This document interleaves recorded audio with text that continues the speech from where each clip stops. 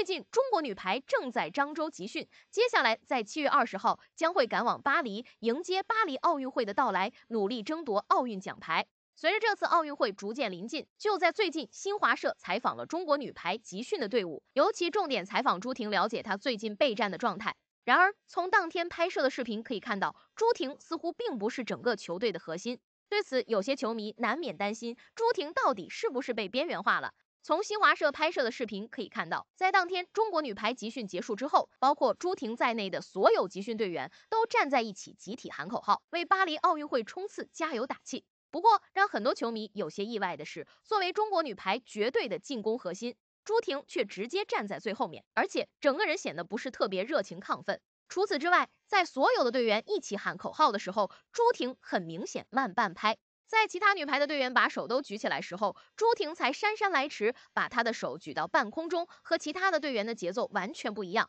所以有些球迷看到朱婷有一种心不在焉的感觉，难免担心她会不会被中国女排边缘化了。不过在这次集训结束之后，朱婷接受官方媒体的采访，回应了自己的具体状态问题，从中球迷或许可以找到答案。在被问到接下来怎么样面对巴黎奥运会的时候，朱婷说自己正在努力调整状态，希望在巴黎奥运会到来的时候，自己的状态可以达到最佳。朱婷表示，通过最近这段时间之后，自己的身体状态不断变好，腰伤也没有太多的问题，对比之前世界女排联赛的状况要更好。另外一方面，谈到自己在整个球队的作用，朱婷谦虚表示，希望完成自己分内之事，配合完成队友和教练的要求。听到这一番话之后，相信很多球迷应该看清楚了朱婷目前的心态，她就是不想邀功，不想抢功，她只是希望低调完成自己国家队的使命，希望能够配合队伍完成奥运会比赛的征战。毕竟当初朱婷时隔三年回归中国女排之后，一些所谓的媒体人一直在攻击和诋毁朱婷，说她想要回来抢功，想要回来摘果子，想要回来抢占更多的首发时间。